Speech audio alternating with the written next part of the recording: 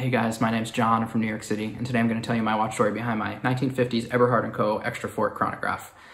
This watch is really significant to me because it belonged to my grandfather. He had purchased it on a business trip to Italy, somewhere around Salerno or Naples, uh, back in the 50s, and had worn it every single day of his life. Um, my grandfather passed away in 1972, well before I was ever born, and when my mother was just a little girl.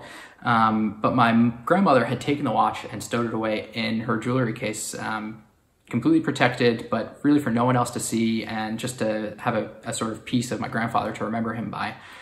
Fast forward 42 years later, in 2014, my grandmother passed away, and my mother was going through some of her belongings and found this watch at the bottom of her jewelry case.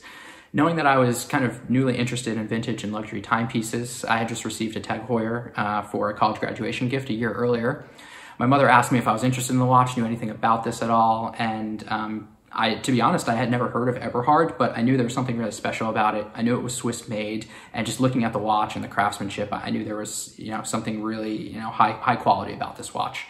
I did a little bit of research. I went to a shop in the city to get it appraised and, and serviced. Um, it was in great condition, but there was just a lot of dust under the dial and within the movement. Um, and then once I brought it in, I knew it was truly special. Um, it has a manual in-house winding movement. It has this really unique locking chronograph function.